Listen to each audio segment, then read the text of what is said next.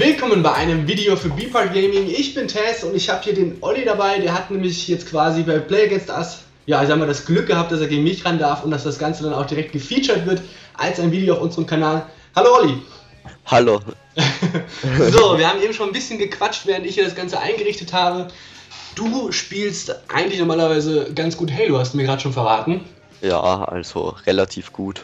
Und du hast auch einen YouTube-Kanal irgendwie so. Ja, genau. Der heißt Nueles und X-Factor und unser Ziel ist halt für die deutsche Community, die was in Halo besser werden wollen und vor allem in die Profiszene reinzukommen wollen, eben Videos zu geben. Im Prinzip ist das genau das Gegenstück zu eurem Kanal. Genau, habe ich jetzt auch gerade so genauso verstanden.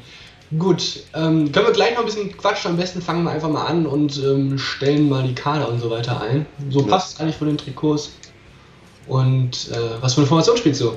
4 für 2, Bratraute. Okay.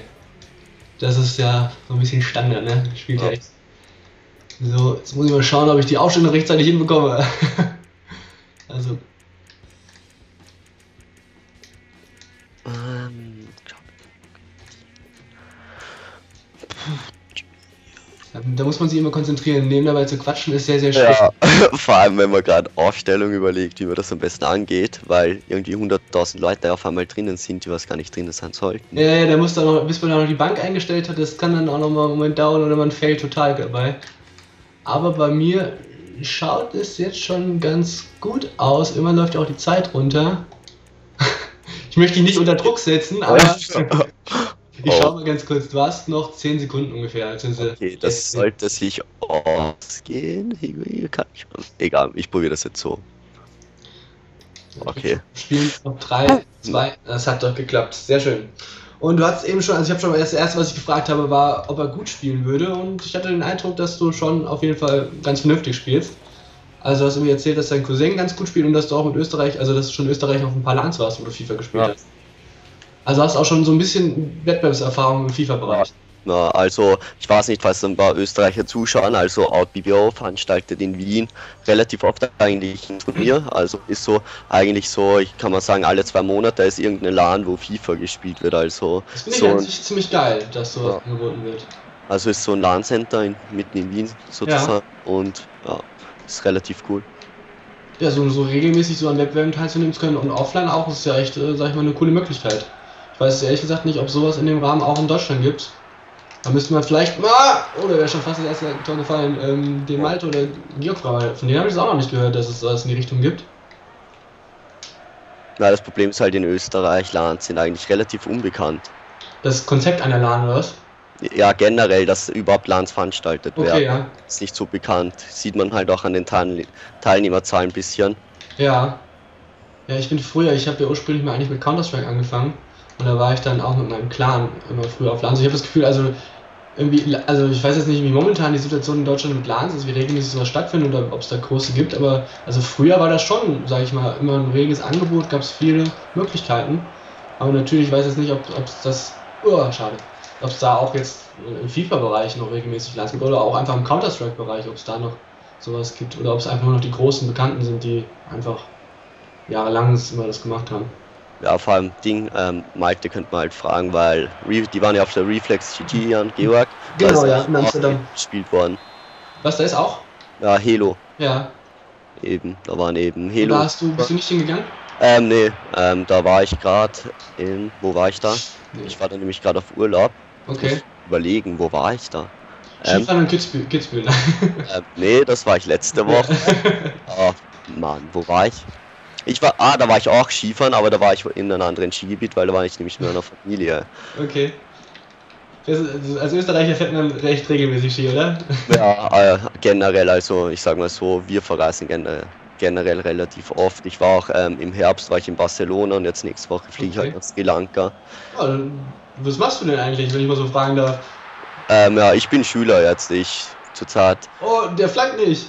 Was ist los? In einer Handelsakademie in Österreich, ja. Okay. Und da hast du so viel Zeit und noch ein bisschen Urlaub und hier und da und. Ich sag mal so, man muss sich die Zeit nehmen. okay. Was auch immer das genau bedeuten mag.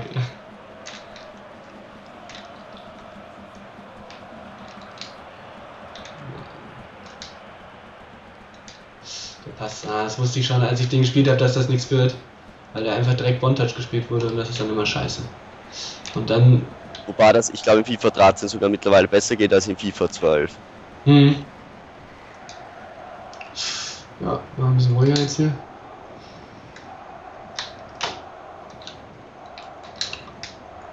Du kennst ja meine Spielweise dann auch wahrscheinlich schon in- und auswendig. Hast du gesagt, du hast irgendwie schon meinen Kanal. Oh, warum ging der nicht hin? Geschaut, als ich au- 1000 Abonnenten bei FIFA Tactics noch hatte. Also sagen wir so, ich glaube, Elfmeter würdest du nicht wirklich. Ich weiß okay. das haben wir gestern, habe ich mir das ein Stunden Video so angesehen, wie du da den einen Elfer gehabt hast, so denke ich mir so, so in die Ecke schießt Ja. okay, nicht schlecht. Da muss ich natürlich jetzt berücksichtigen. Da gibt es ein, ein kleines Psychospielchen, wenn es äh, zu einem Elfmeter kommen sollte. Ja, da- lupfe ich mal zur Abwechslung. Weil ich glaube, das habe ich ganz, ganz selten bis jetzt gemacht, oder? Also ich glaube, ich habe es noch nie gesehen. Ich glaube, ich habe es einmal gemacht und es ist dann noch direkt in die Hose gegangen und seitdem denke ich mir so, das muss doch nicht sein, dass das dann auch im Video zu sehen ist. Weil ich meine, wenn man so mal einen Elfmeter verschießt, dann ist das ja nicht schlimm, aber dann, wenn dann hier ein paar tausend Leute das auch noch sehen, denken sie, "Hm, das ist jetzt ungünstig. Lieber nicht. Ja. Oh, jetzt hier oben läuft einer. Ah, da hat er keine Luft mehr, was ist denn da los? Hat er die ganze Zeit getrieben, der Gomez? Ja, das war jetzt so ein One-Touch-Pass, ne? Der ist Ich nicht angekommen. Oh. Aber auch mit fünf mehreren Berührungen mit dem Ball kommen sie dann nicht automatisch gut. So, bis jetzt hier ein, ein, ein Hin und Her, aber bis jetzt noch nicht so viel. Also am Anfang hatte ich eine gu- gute Chance und du dann auch mit durch die Ecke, aber ansonsten jetzt die letzten paar Minuten relativ ruhig. Oh, Richtig. der ist im Abseits, der ist im Abseits. Schade. Da musst du ein bisschen aufpassen, da hast du die Viererkette ein bisschen aufgelöst. Oh, hier Krankenwagen haben sie auch. Äh, kennt man, ne? Also das ist, das ist, das ist nicht so, dass ich das irgendwie einspielen würde. Nein, das ist regulär, fahren hier die Krankenwagen so durch die Gegend. Kennen ja die Leute.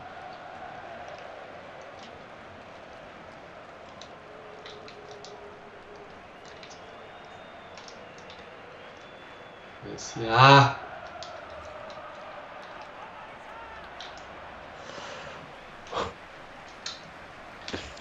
Aber bis jetzt, also so spielst du eigentlich ganz vernünftig, also. ja, ich weiß nicht, gerade defensiver finde ich, ich, Oh. ich mir ein bisschen viel die Viererkette auf. Ja, das stimmt. Das finde ich gerade ein bisschen auch ärgerlich, dass ich das noch nicht bestrafen konnte. Aber kommt vielleicht noch. Jetzt, jetzt kommt natürlich eine gute Flankengelegenheit.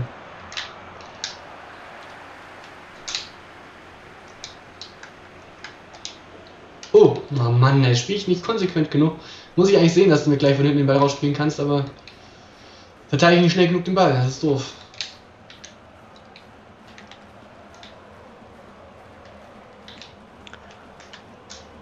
Ja, sehr gut. Dann machen wir jetzt mal hier schnell. Das dauert dann manchmal so lange. Man denkt sich so, ach, werfen doch einfach schnell und dann läuft der dann auch Ich schön. schon An, richtig den Tastendruck gehört, wie du es. äh, ein- dann läuft er noch so schön an die Linie ran und ja, muss ja alles akkurat sein. Dankeschön. Das ist halt auch, dann kann er sich auch gleich sch- schenken. Ja. Ja, oben. Ja, Ballannahme. Der Gomez hier gestern gegen Bayer Leverkusen sah das eleganter aus. Ich ich habe es nicht live gesehen, aber das Tor danach angeschaut. Ist natürlich Was auch geil. Ui, einmal hier komplett stehen bleiben. Das wäre natürlich geil, wenn jetzt hier die Verbindung zusammenbricht, aber in Skype nicht. Wir sind noch da? ja, ja, ich bin noch. Okay. Aber ich sehe gerade ein Laptop. Was ist denn das jetzt? Schade. Okay. Dann lade ich direkt nochmal neu ein, aber dann machen wir eine kürzere Halbzeit oder kürzere Halbzeitlängen. Ich Ja. weiß nicht, also hast du eine, bist du disconnected aus dem PSN oder? Nee, ich bin noch drin dann. Das ist ja faszinierend. Also dann sieht man mal hier recht gerade, also bei uns beiden ist das Internet anscheinend noch da. Aber ich finde schön, dass du den, den Sieg bekommen hast. Wirklich. Ja. Hast du, du hast drei Punkte. Ja, keine Ahnung, das ist in FIFA teilweise echt komisch, weil ich spiele auch mit meinen Freunden und ich hatte eine Zeit lang, ganz am Anfang von FIFA 13 war das so, wir haben gespielt bis zur 85. Minute und in der 85. Minute ist immer die Verbindung zusammengebrochen. Immer. Okay. Ja. Die, die, da hat sich die EA bemüht, dass bei euch kein Streit aufkommt damit, weil dann stehst du kein Wahrscheinlich. Ja gut. Dann, ähm, ich habe jetzt vier Minuten Halbzeit eingestellt. Ja.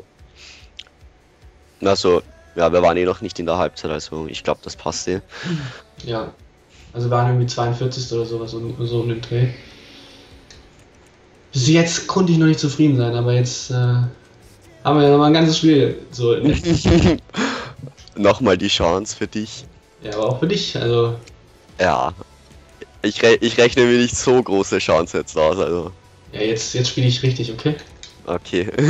Vorher hast du nur mit einer Hand gespielt, oder was? Ja, also nee, nee, daran hat es nicht gelegen. Aber ich merke das auch. Ich meine, ich weiß, dass es für viele Leute ungewohnt ist, halt nebenbei zu reden und dann zu spielen, dass sie darauf gar nicht klarkommen. Aber das ist auch bei mir so, vor allem wenn ich in so einem Gespräch bin. Das ist noch was ganz anderes, als wenn ich alleine kommentieren würde. Ja. ja, wenn du alleine kommentierst, so konzentrierst du dich halt nicht so drauf, weil du nicht so nachdenkst. Ja. Das habe ich halt früher auch bemerkt bei den Commentaries und so, wo man, wenn man live mitmacht, ist das was ganz was anderes. Ja. Weil du musst dann halt die Koordination, dann noch reden und dann muss man noch aufpassen, dass man nicht irgendwas redet. Ja, das, das geht relativ schnell, dass man irgendwas redet. so, hast noch wieder mal so in etwa 10 Sekunden jetzt. Geht sich aus. Ah, jetzt ging es flüssiger von der Hand.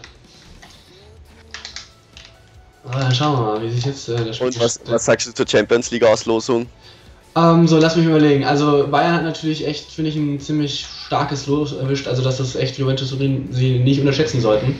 Ich kann ja. mir vorstellen, dass es sehr schwer wird, weil die natürlich auch über die Defensive sehr kompakt stehen und ähm, ansonsten, was gab es noch? Barcelona gegen PSG. Das ja, kann ich mir. Da haben auch schon viele geschrieben oder habe ich gelesen, dass sie sagen, ja, das ist eigentlich ein ganz vernünftiges Los, aber ich denke, die sollte man auch nicht unterschätzen. Also das kann ich mir. Also ich meine, Galatasaray gegen Real Madrid, das ist irgendwo klar, dass es da eigentlich irgendwie wahrscheinlich recht eindeutig wird.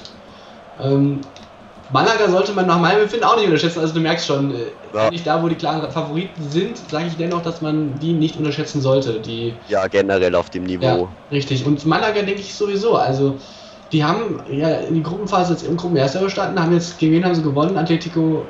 Ne, gegen wen sind sie durchgekommen? Oh, das wird, das wird doof, das wird doof, wenn er schon Ronaldo hochsteigt, da wird es dann immer eng. Ja. Gegen wen haben die nochmal die, die Gruppenphase, äh, gegen die, die erste K.O.-Runde überstanden?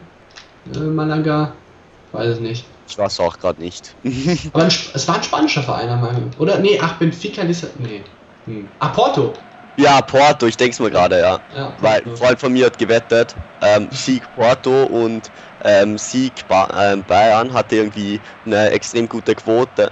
Ja. Ähm, eine extrem gute, also eigentlich nicht so gute Quote, aber dadurch, dass er noch andere Wetten, die was risikoreich ja. waren, da hat er so eine Kombi-Wette und dann fallen ihm wirklich die zwei, die was eigentlich halbwegs sicher waren, um. Das war ein bisschen doof.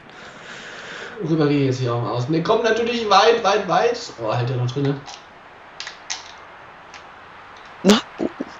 ist noch nichts passiert, ist noch nichts passiert, aber jetzt pass auf. Ach. Na. ja.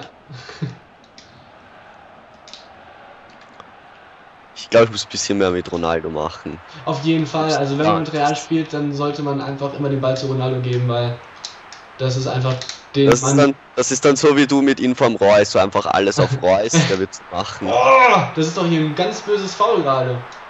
Da wurde er zusammengetreten von dir im, im, Strafraum. Ja, das mit Inform Reus. Ich verrate dir ein kleines Geheimnis. Ah, wobei ich, nein, ich verrate es noch nicht. Also ich habe ihn immer noch, falls du jetzt in die Richtung denkst. Ähm, aber ich habe vor, ein bisschen umzustrukturieren. Ich weiß ja, nicht ganz genau, ich weiß, ich weiß noch nicht ganz genau, wann die Folge kommen wird, wo ich es ankündige, aber es wird ein neues Teambuilding geben. Und da wird aber auch Reus noch mit dabei sein. Oh! oh komm, bitte, da fliegt er da durch die Gegend. Überhaupt gar nicht notwendig. Die Ecke bringst du sehr, sehr gut, finde ich. Von der, von der Richtung her sind sie so, oder von der, von der, wo sie hinkommen, dass man nicht weiß, sollen wir den Torhüter rausholen, sollen wir nicht rausholen. Und jetzt, ich glaube, das war jetzt schon eine dritte und es war ja schon das dritte Mal, dass sie so gekommen ist.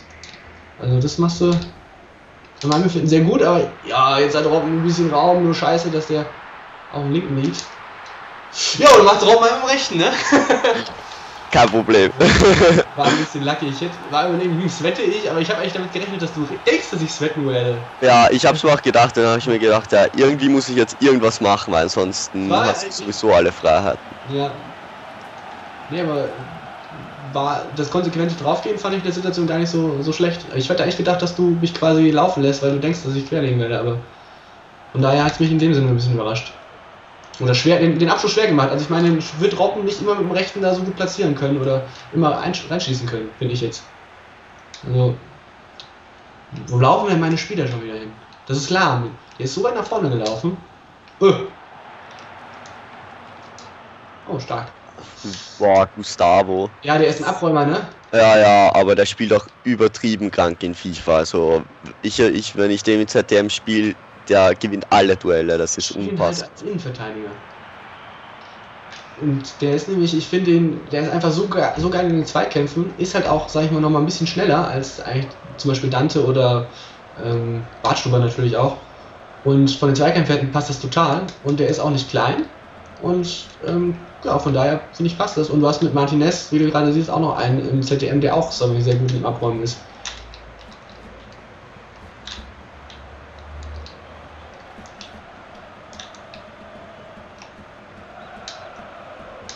Oh, die kommt auch. Das mag ich nicht, wenn so, da, da, da so drei Leute auf einen Fleck kommen, mit dem Torhüter noch dabei, also dann wird es immer ekelhaft. Weil wir haben halt das Problem, dass er nicht rankommt. Ja. Das wird eklig mit Gomez in der Mitte. Der Gomez habe ich außen leider.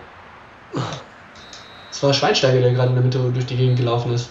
Ja, ich dachte, es war Gomez. äh, das, hast recht, es wäre mir auch andersrum lieber gewesen, dass Schweinsteiger außen gewesen wäre. Guck mal hier, einem Schuss. 42% Ballbesitz nur bei mir, das ist schon auffällig, finde ich jetzt, Ja, dass du so viel mehr Ballbesitz hast.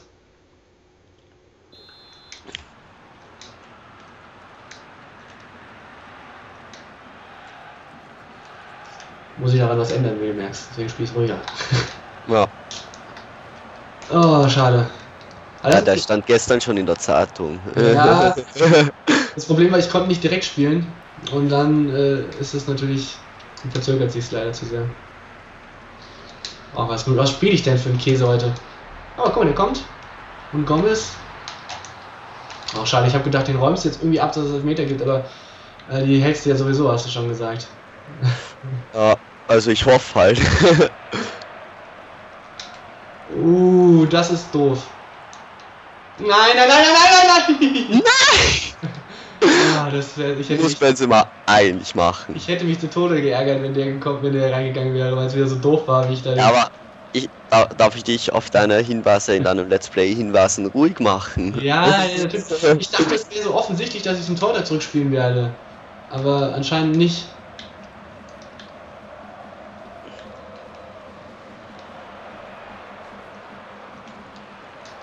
Oh, das ist gefährlich, wenn du da die Flanke auf Ronaldo bringen kannst.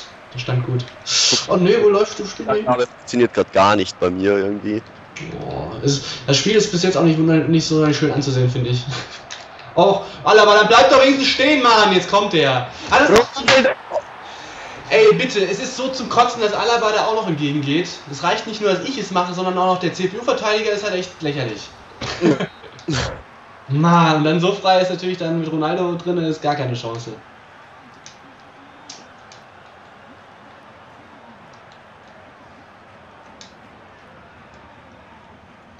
Uh, Robben. Das Gute ist über Skype gleich wenigstens, wenn du so Schusstäuschungen machst. Richtig, ja, das habe ich mich auch gerade gemerkt. Das, das ist vor allem auf der LAN eklig. Wenn du irgendwie eine Schusstäuschung machst, das hört halt der Gegner direkt neben dir. Ja, ja, ich weiß. Das Problem war eben nur, er hat danach, ich meine, die Schusstäuschung habe ich ins Leere gemacht, du bist ja auch schön gut abgedreht. Nur er hat sie danach den Ball nicht mehr richtig angenommen. Das liegt auch irgendwie daran, dass wir halt beim Regen spielen und hat er sich leider nicht so zum Ball positioniert, dass er den auch reinbringen kann. Was? Ich dachte, Oh. ich hab schon. Oh, na. Nee, das ist nix. Aber oh! Oh, was? Oh, oh, oh. oh. Oh Mann.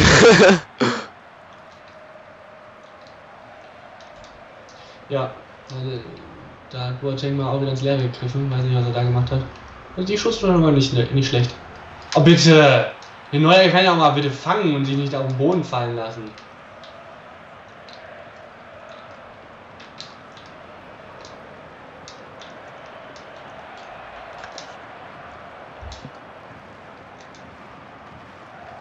Nein.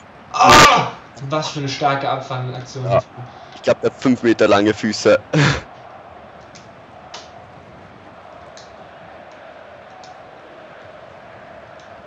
Ah, das ist da, da sind die einfach nicht stark, stark genug, um den da so gut genug anzunehmen, annehmen, annehmen zu können und dann noch was draus zu machen. Dauert alles so lange.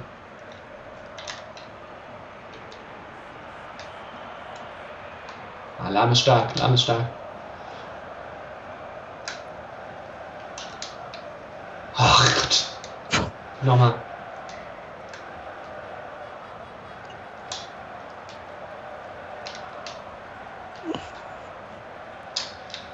Also der Regen geht mir richtig auf den Sack, muss ich jetzt sagen. Das dauert so lange. Selbst mit so einem trippelstarken Spieler wie Robben dauert es ewig, bis der da die Wendung macht, sodass man dann den Ball vernünftig verteilen kann. So. Ja, kommt. Kommt der Oh! Alonso. Huh. Meine Güte. Okay. Aber stark. Nochmal jetzt. Ja, ja, ja. Ah, der Torhüter war aber ganz schön weit rausgelaufen. Ich dachte, er kommt wieder kurz aufs Tor, deswegen. Oh, der war scheiße. Benzema hat kurz angedeutet und dann bleibt er stehen.